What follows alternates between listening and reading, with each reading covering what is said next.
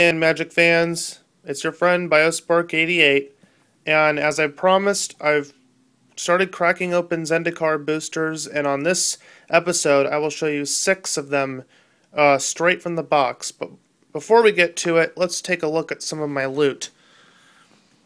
These two piles are the commons. There's quite a few killer commons in this set. Uh, there would be no time to go through all of them in detail, but you can just take a look at the ones on the top. Reckless Scholar, target player draws a card, then discards a card.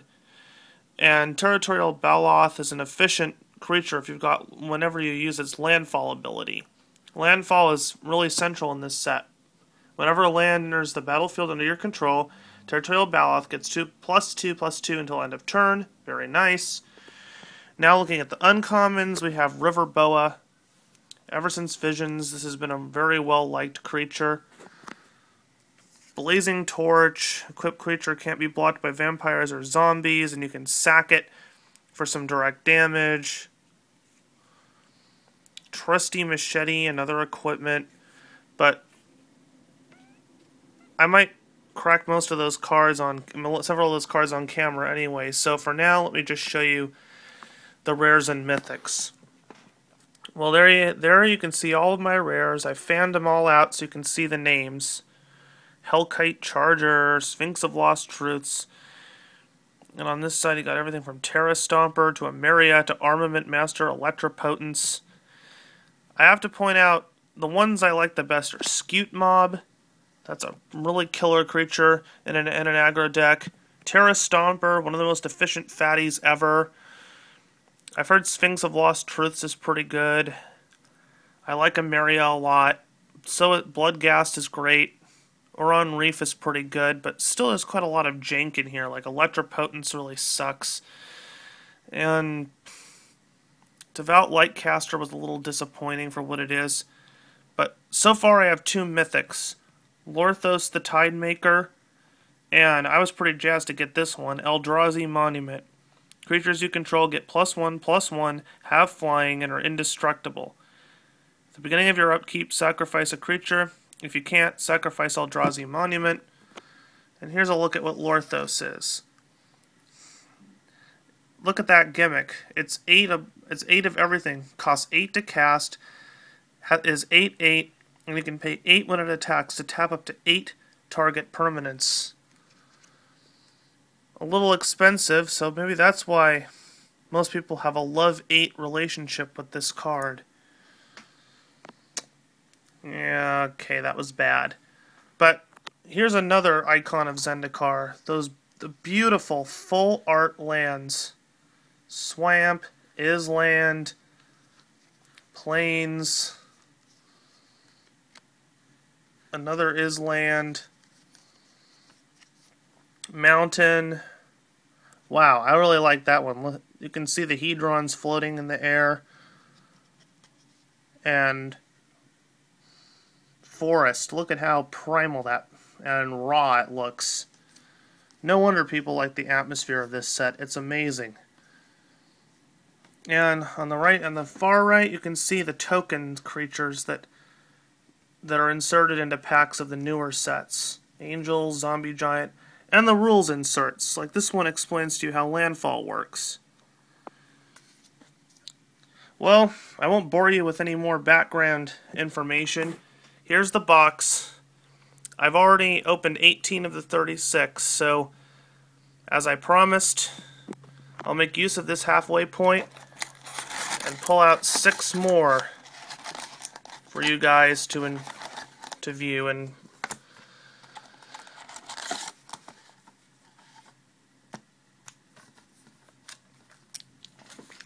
here they are. I got these for about $130 on Amazon.com. Amazon Prime, I must have fallen uh, for their little scam because for just four extra dollars you can throw in Amazon Prime, which gives you um, one day shipping. I think I got suckered in because unless you find the, the tricky way to disable it, they can silently charge you money that's a pretty uh, low blow to lure people in. So, if, I, if you learned anything from this video, think twice about joining Amazon Prime. But for now, let's just open a pack and get going. Okay. Opening boosters one-handed is not my idea of a good time, but just see what we got, huh? I'd use my trusty scissor there. Good times. Almost got him. Hang in there, viewers. Oops, I just scattered them around a bit, but hold on, I almost got him.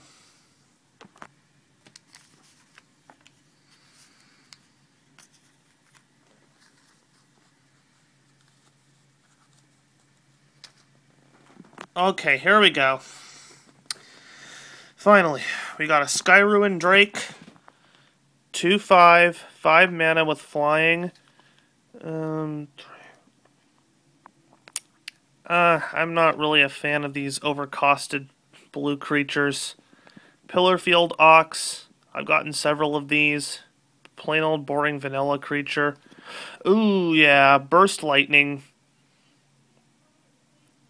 It's like shock, but if you kick it, it does extra damage. Four damage instead of two. This one has seen a lot of standard play. Steppe Lynx.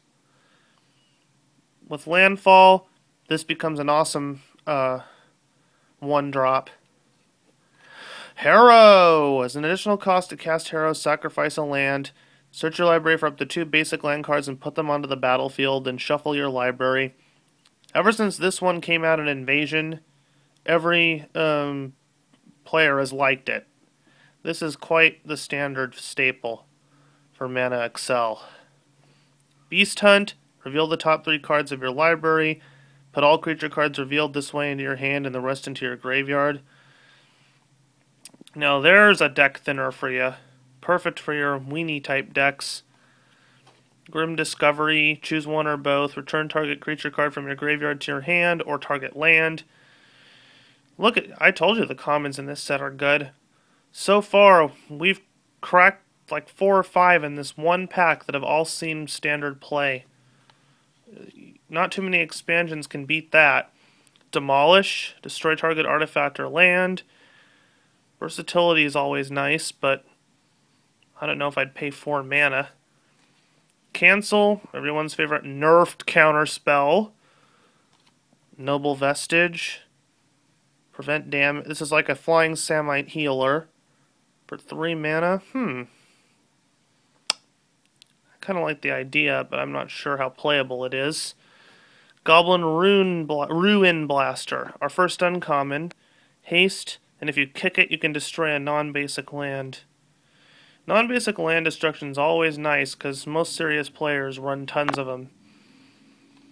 Seascape Aerialist. This is one of a long, long line of ally creatures that get some sort of benefit for being run with other allies. Merfolk Wizard Ally. Three creature types and one card, too. But four man, uh, five mana for this? Nah, I'll pass. Ooh, we got a little ding on the on the corner of the card too. Sometimes those packs aren't sealed real well. Akum Refuge. Oh. These are like pain lands, but but they tap when they come into play. I don't know, is this better than a pain land? Remember, I'm not the most experienced player in the world. I've been out of it for a whole decade. So, you can enlighten me on this one, viewers.